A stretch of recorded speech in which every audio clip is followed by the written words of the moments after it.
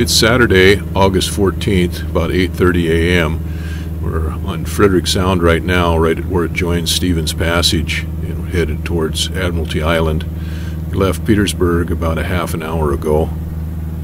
Got a salmon seine opening today, so we're going to go out and try to locate the salmon seine boats in this area, see where they're fishing, get a count of them, get the names of them, and plus do a little bit of salmon surveying swing the camera around here. We're looking down Frederick Sound. Again, that's uh, Admiralty Island right ahead of us. And that's towards Pybus Bay there, just on the right side of the camera.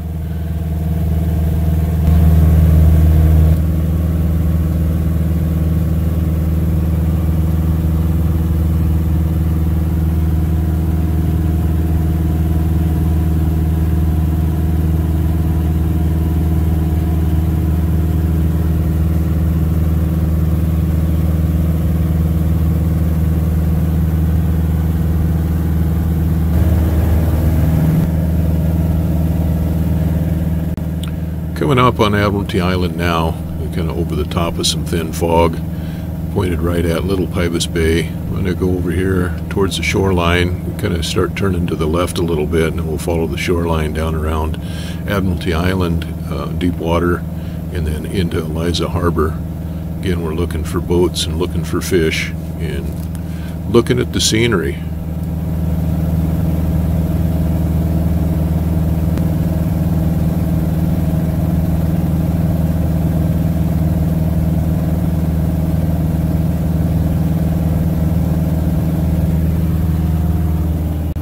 That's Little Pybus Bay, nice and wide open over there, but we're not going over there today. Beautiful little spot. It's one of the major salmon systems in this area. You know, just keep heading here to the southwest. Uh, looking at the scenery, that there just to the left of the nose is the north end of Kuiu Island. We're going to be heading over there a little bit later. And then in the let's see, I'm turning back around now, looking back to where we came from, back east down Frederick Sound.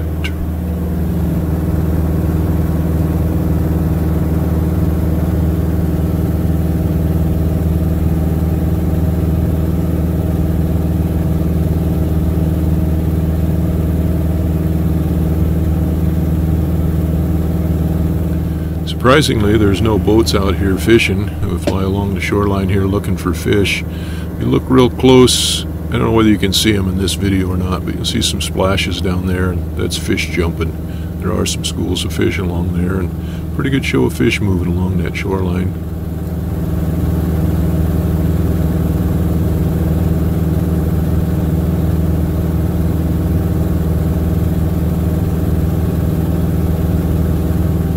Coming up into the outer portion of Eliza Harbor right now, going to turn into this outer bay right here, and there's a stream right here on the right called Wawutsky Stream, uh, Wawutsky Creek. I'm going to do a flyover of it and look for fish in that. We're counting fish there. There's jumpers outside of us and stuff, but we're kind of looking to see what's going into the stream to escape. And then we'll go ahead and go on up into Eliza Harbor itself.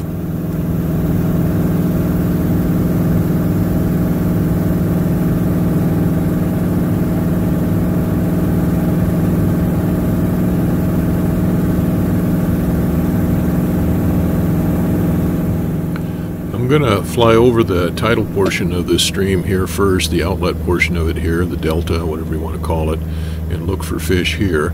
I don't really see anything in here, but we have seen fish here before. Of course, this is where they got to come to when they start up the stream. But I'm going to go ahead and circle over it. And as I'm circling over it, I'm looking ahead and I can see fish in what we call the intertidal portion of the stream. That's the portion of the stream that raises and lowers with the tide. Coming right into view at the top center right now, that little elbow right there, all that dark mass is all fish, all pink salmon. And then as you look, as it goes around that corner underneath those trees, there's fish there underneath those blowdowns and along that one edge. And then right up there underneath where the trees are, where it just starts getting brushy, all that dark mass underneath that those trees is all fish there. So it's a pretty good amount of fish for that little stream. Well, we got those counted, and now we're going to head into Eliza Harbor.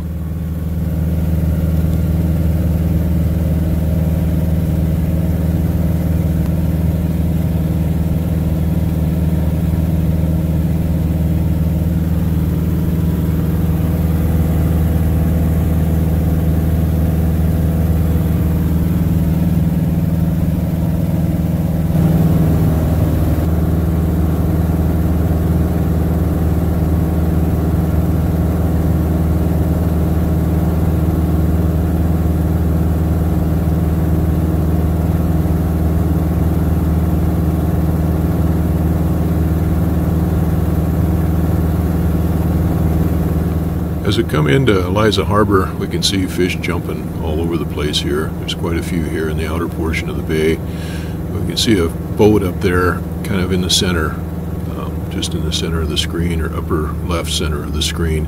That's a seiner, and that's what we're here for, is to get his name and see where he's fishing and what he's catching. Again, I know on this you can see a lot of fish jumping around the area there.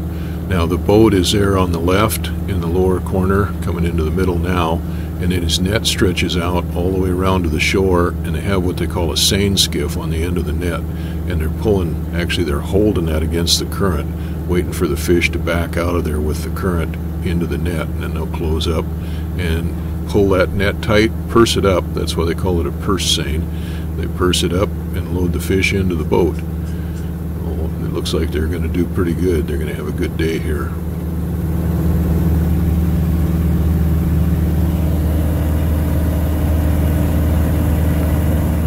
Almost every one of those splashes that you see here, and you'll see here as we swing around uh, into the bay, uh, the harbor, almost every one of those splashes is a salmon, and under every one of those splashes is a school of salmon from anywhere from 100 to 500 fish there's quite a few fish in here. This guy is fishing in. They've got the inner part of the bay protected, to blocked off, so that the fish that get in there can get up the river, up the streams to spawn. So this guy is fishing real close to the line there, uh, but he's catching fish, and uh, it's going to be a pretty good day.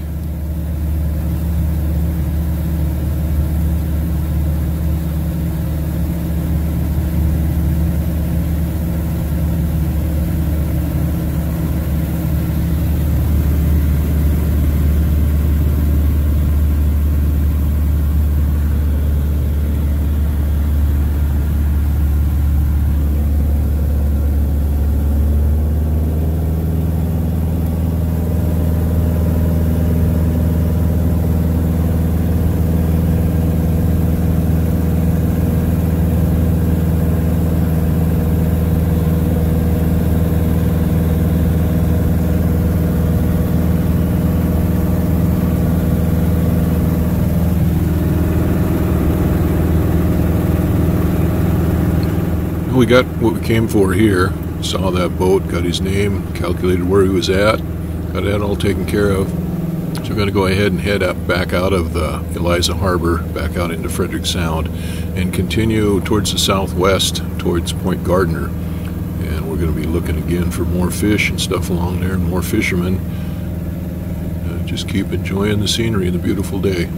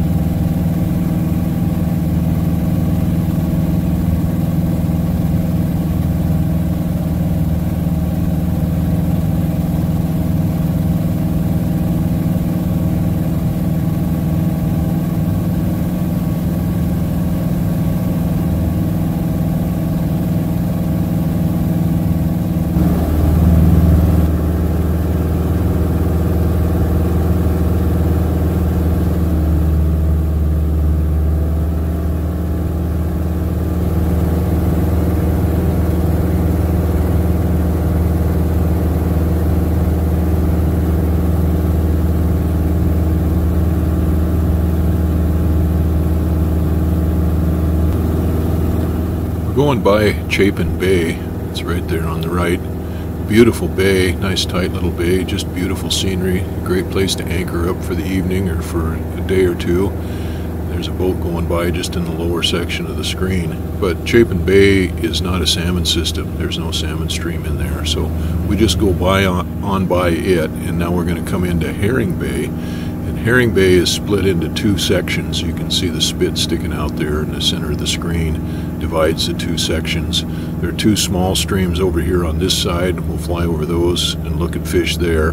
And I can see fish there. They, they won't show up on the screen on the, on the video, but there are fish there in the mouths of these two streams. But the main stream is on the other side of that spit that sticks out there. So we'll swing around here, get some numbers of some fish here, and then we'll go take a look at the main stream.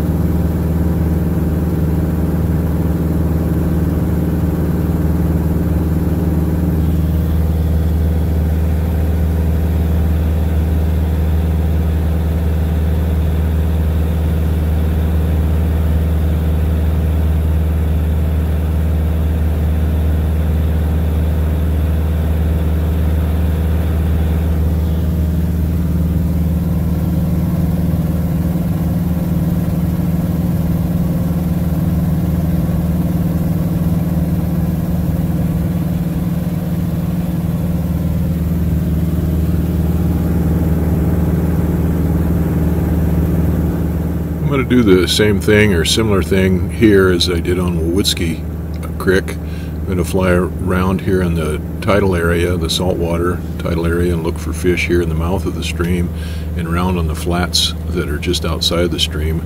Fish come in here on these flats, come right up against the shoreline and spread out here a lot of times. They're not here today, but this is what we're doing is we're looking for them to see if we can get a count of them. And then I'll come around and head up the main body of the stream, and there's quite a few fish in the main body of the stream, and some other interesting things to see.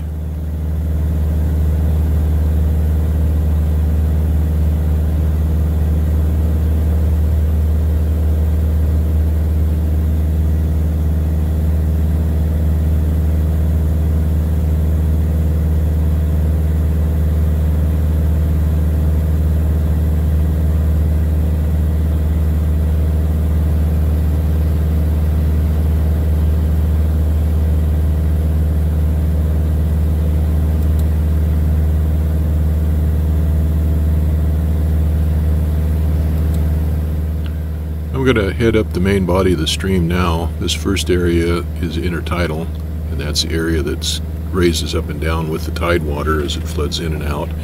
As we come around this S curve right here, there's quite a few fish down in the channel here, and you can see some blowdowns and stuff here as we come around this corner. There's schools of fish there. Almost all of the dark that you see down there in the water is fish. A bunch of birds flew by there in the bottom edge of the screen. There was fish there. And then there's some blowdowns here in the stream. I just kind of buzzed over. We'll get back to them in a second. You can see those fish. Uh, now there's a bear right there in the green part. There he goes across the creek chasing fish right now, just where that bunch of trees is in the lower corner. And that's a bunch of fish. He just ran into a bunch of fish and grabbed one and then he'll go up on the bank right there where that log is and eat it while we're flying around. He's not running from the plane, he's running to catch fish. And all that dark in the lower center there that's pivoting around now, that's all fish right there. There's uh, several thousand fish in that stream right there.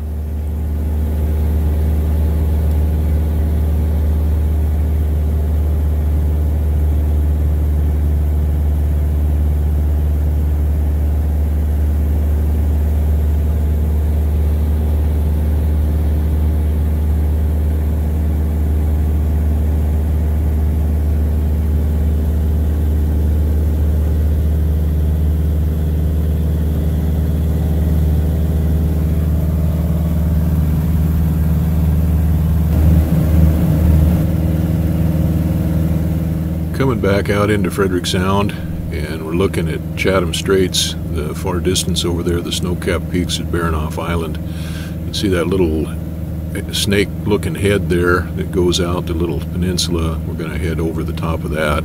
That's actually an island right there. It's called Carroll Island where it sticks out. And uh, we're we're going to go over that. Yeah, there's looking down Chatham Straits towards the Pacific Ocean. Anyway, like I said, we're going to go over this little spit of land, and then there's some more area ahead of us called Tyee, Murder Cove, and what we're doing is heading for the uh, southwest corner of Admiralty Island called Point Gardner. And there'll be guys fishing there. Don't get any video of that because it was fogged in right there, uh, and we're flying around on top of the fog trying to get the names of the boats. Had a tough time doing that, and I couldn't take any video of it. The next video will be headed over towards Kuiu Island.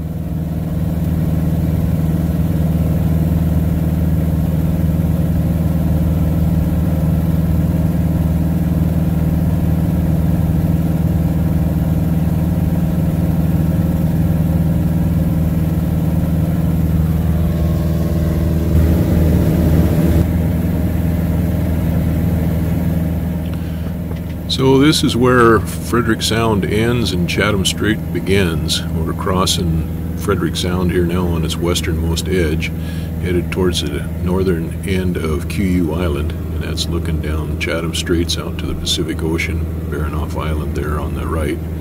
Beautiful day today, almost flat calm.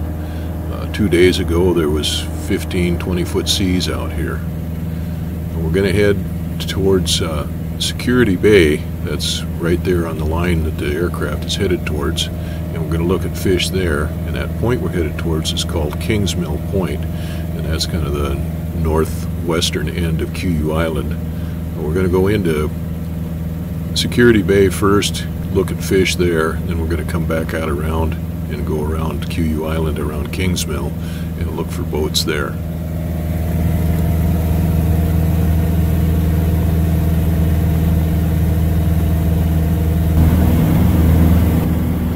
Coming into Security Bay, you can see five boats down there. The closest one is a seiner that's broke down working on his boat. And the next two big ones there are tenders. They're ones that the seiners deliver their fish to when they get too full to pack anymore. The one in the middle of them that, that's coming towards us is a pleasure boat, charter boat, something like that. He's coming out of the bay, was probably anchored up in there for a night or two. And then there's one going away from us He's going in there to anchor up. That's another tender. It's a popular spot for people to come in and anchor up to get out of the weather or just enjoy the scenery. And of course, the tenders stay in here, and the seiners come and trollers come and deliver their fish to them. So this is the inner part of the bay. This is kind of a salt chuck tidal area in here, and this is where the fish come into before they go up into the streams. And we get up in here, you'll be able to see a lot of fish I don't know whether you'll be able to see the fish or not, but you can see them jumping anyway.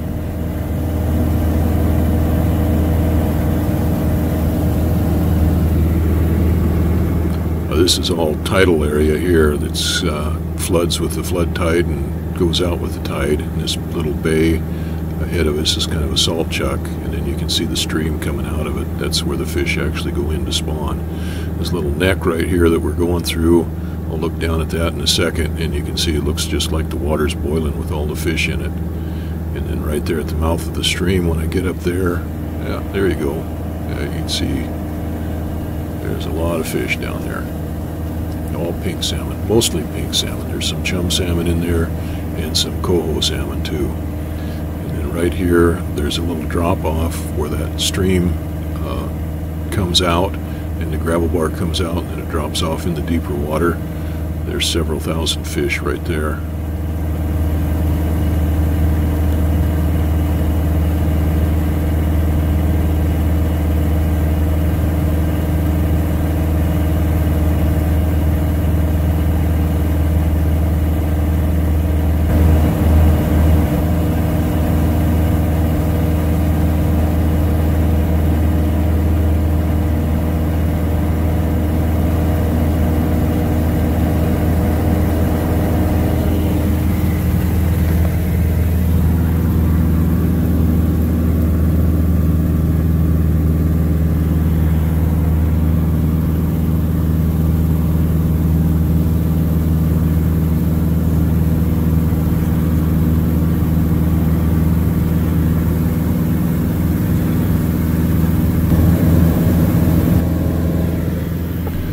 We're Security Bay now, heading around Kingsmill Point and down this shoreline. I'm Going to enjoy the scenery a little bit as we go down here. There's a lot of sandy beaches along here, and not a condo or a hotel around on any of them. Well, anyway, like I said, we're going around here to enjoy the scenery, and then we get out around the point. There's a, a few more fishing boats out here. We'll buzz by and take names, and then we'll call it a day and go home.